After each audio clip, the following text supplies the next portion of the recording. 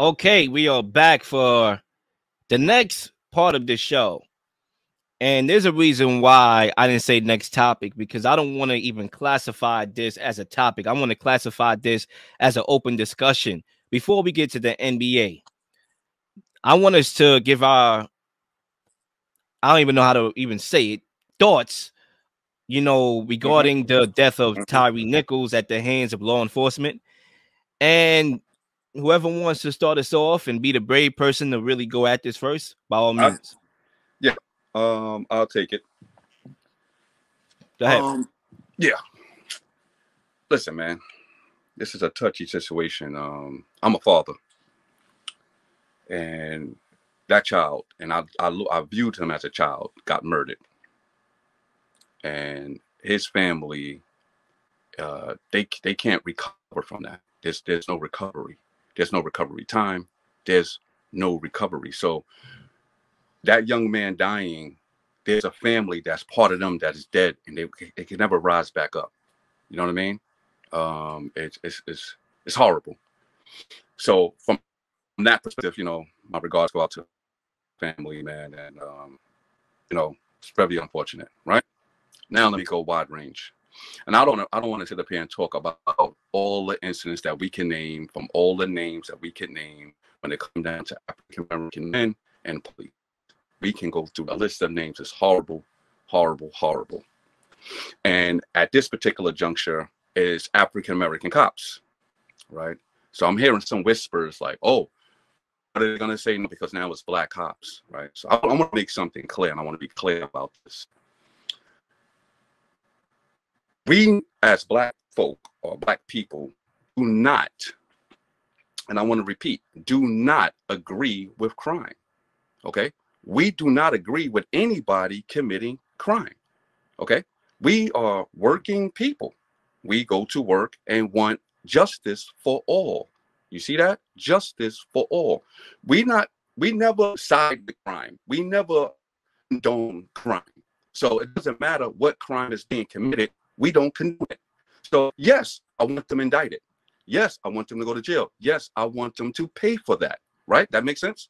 Um, so, yeah, but guess what? We want it fair across the board. So if there's a white police officer doing that, we take same energy. Come at them with the indictment right away. Get them right, right away. That's what we want. We want justice. We think always want justice. You kind of cutting up. Me? Cutting up just a little bit. It's not terrible. I was letting it rock, but you cutting up a little bit more. Okay, hold on. Let me try it. How about now? Um, a no? little better. A little better. All right. Yeah. A little better. I'm good now. no. Um, still could use a little work. All right. So somebody goes. Somebody else. Yeah. Zay, over. Zay, yeah. you take over, and then we head it back to Fred once he gets ready. Yeah. Yeah. No problem. Um it's disgusting how in situations happen on a night in night out basis we're seeing a child being shot you know a young a young man uh, a man who still had a life ahead of him being taken away by the um, law enforcement um, the, the law enforcement has shown year in year out decade after decades that they are violently they're violently they're attacking civilians that rather they commit a crime or not are not causing anyone else pain, anyone else suffering. But mm-hmm. the first thing they need, they feel like they need to do to retaliate or to, to cause action is to draw their guns or jump a child, a man, seven, eight cops, hold them down and punch them repeatedly.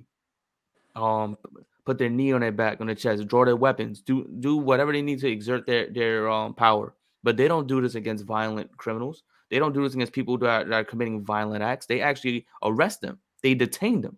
They, those are the people, the people that have the violent um past, the ones that are, are being violent and attacking civilians and hurting other people and killing other people are the ones being arrested, the ones being hauled off to jail, and then they're not even spending sentences for taking a life. They're, they're spending three, four years in prison for a homicide.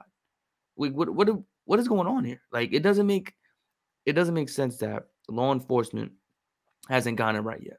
They don't understand that what they've been taught what they've been trained to do is not the correct way to police anybody, to police themselves, let alone. Um, if this if this if this is going to continue, to to be the the their uh, reaction to when crimes are happening or when they're being called. Um, you know, maybe defunding the police is the way to go because if they're not going to protect and all they're doing is causing more hurt and pain towards other people, then what what good are they? You know, police aren't called when um, people are um, are preventing crimes from happening. They're when crimes are happening. Right. No one being no no crimes are prevented by the police. And people need to understand that. Now, there's not a single police officer that prevented a crime or just just showed up on a site and prevented a crime. It, it was already happening when they arrived. So it's it's disgusting that Tyre Nichols had to lose his them his life because right. of officers don't know how to not exert their power. It is disgusting to continually see on a week in, week out basis. I'm getting sick of it. Um, you know, I got nieces, I got nephews, I got younger sisters, younger siblings, um, younger family members. I, it, it it only breaks my heart when I see things in this nature. Condolences to the family, you know, and, and like Freddie said, there is no uh you know healing process with this. This is things forever. And you know, I'm just sorry that his family has to go through this. Yeah. Um, cousin, you want to finish? Yeah, yeah, yeah. I appreciate that, cousin. I appreciate that. Um, yeah. My point is, as African American people, we don't condone crime, right? And I, I believe, or and, and large, we are law-abiding citizens that go to work, right? There's a selective few, just like the police would say. There's a selective few, and don't judge them for the selective few. But unfortunately, y'all judging us for the selective few. See, if I'm a, a black man, six feet two, 200 pounds, I'm looked upon as a criminal, although I'm a father and a man that goes to work. You see how that works? You're judging me by selective few. There is some selective African American men out here that commits crimes, but that don't mean all African American men is committing crime. You understand what I'm saying? So why are you using the selective few to judge us when y'all don't want us to use the selective few few to judge y'all? Problematic. Now let's go big picture. Big picture is this it doesn't matter if you're African American cop, it's systematic racism, right? So if I joined a group and I could be a, a guy that's got great morals and it's 250,000 people, I'm still going to be judged by that 250,000 people, even though I got great morals. You see what I'm saying? So, as African American men, be careful when you join in an organization that is looked upon to attack black people. You understand what I'm saying? Like that's so if you join, if you're gonna be a cop as an African American male, stand by your morals. Stand by your morals and really be a cop. Call out other cops, stop other crimes from happening, even if within the police department. If you see a situation like that, one of those mentions, hey, hey, that's enough. Let them up. Let's arrest them, take them to jail. Not one of them did that. And I have a problem with that because what's wrong with your morals? You see what I'm saying? Not one of them can say that's enough. Not one person can say, hey, let's be easy. We're going to take them in now. Let's detain them. Let's arrest them. Let's put them in cuffs. Let's throw them in the Nobody can say that. But I also want to go here real quick, and I'm going to turn it over to you, cousin. Black folk, from my own personal history, always called out black cops, right? The great late John Singleton, go look it up. Boyz n the Hood, 1991. He purposely put a scene in that movie, the black cop putting the gun to his head purposely done because we we understand that that happens in our community. Also, NWA with F the Police, 1988, black police showing out for the white cop. That line was put there for a reason because we understand that happens way too often and it don't get enough attention. That's why that was said. This is 30 years ago I'm talking about. These are things that was said 30 years ago that we talked about black cops showing out for white cops okay? Or a black cop thinking he can now put a gun to the black male's head. This is not something brand new. And we've been calling them out just in case, because I've been hearing a lot of things. Oh, they're not going to call it the black cops. Oh, we've been calling out black cops. What are you kidding me? We've been doing this. So at the end of the day, we don't condone crime no matter who's committing it. Black cop or white cop, they all need to be indicted. Yeah, I think for me, I'm gonna take a another angle here, but we're all going to land at the same finish line. I think for me, the main issue for me when you talk about stuff like this that nobody really is talking about is mainstream media and what's their role in all of this. What's the role of the mainstream media in this whole thing? And I'm explaining what their role is right now. First of all, I did not see the video. I'm glad I didn't. I have no plans to do it ever. Mm-hmm. Obviously, I live with family. So maybe upon being around family who's watching the news, maybe I might see it. I hope not. I don't get myself caught up in those things, you know. Um, I try not to because it kills your spirit, right? It makes you look at things from a radical perspective and not think of things from a peace perspective, right? It's so easy to get radical. You know, mm-hmm. I had classes where we was talking about the Holocaust and slavery, where I left that classroom ready to knock somebody out. Okay, but I had to say to myself, that's how they want me to feel. That's how they want me to react. That's a trap to get me locked up. We have to realize we are walking as people, white and black. We are walking in the trap right now. And the trap is the mainstream clickbait media.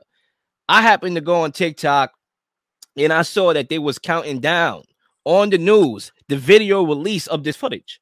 Counting that joint down like it's a ball drop. This is what's going to be dropped in a couple minutes. Mainstream media, I can't make this up. Mm. Counting that joint down like it's a ball drop. You know why? Because it was a ball drop to them, to the people who's trying to divide us and conquer us. It was a ball drop to them. It was a celebration at midnight. The clock struck midnight, okay, for them, because it was a celebration. It was a party. And we have to realize not to get caught up in that foolishness.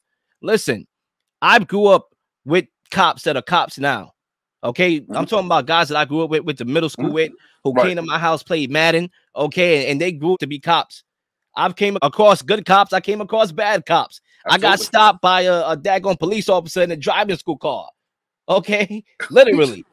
and I also had instances where police came to my house and I had my guard up, and they were the nicest people I met. Told me stay in school, make sure I go to college and graduate. So I'm not going to sit here and use this as a way to just put everybody in a box and right. say screw the cops, defund the police. I'm not going to say none of that. What we need to start doing is stop listening to media because we are playing into their game and we don't even realize that. Do y'all realize that the movies that they keep showing us, Emmett Till, didn't that just came out a year ago? How long ago did this happen? Years ago, but it came out last year as a reminder to who we really are.